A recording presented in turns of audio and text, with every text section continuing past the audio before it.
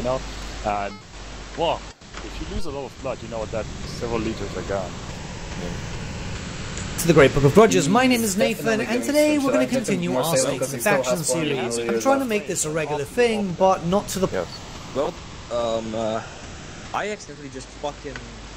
Point that it's taking over the channel, so spacing it out a little bit. A. As you can imagine Yes. from what you can see on screen and the title of this video, we're going to talk about the uh, Skaven. sailing You see, the I get it, Skaven I has get what you always been in a very good For fucking Mars and fucking not- shoot.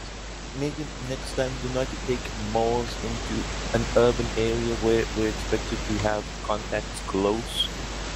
No, that, Yeah, you know that Oh my God, I still fix myself saved up, I'm so BTR, weak. don't you? Also, one thing that fucking was, I literally just ran away from the BTR and I just fucking shot it. I don't know what it is. Minor bruise, large bruises. Yeah, I, got. I got some bruises.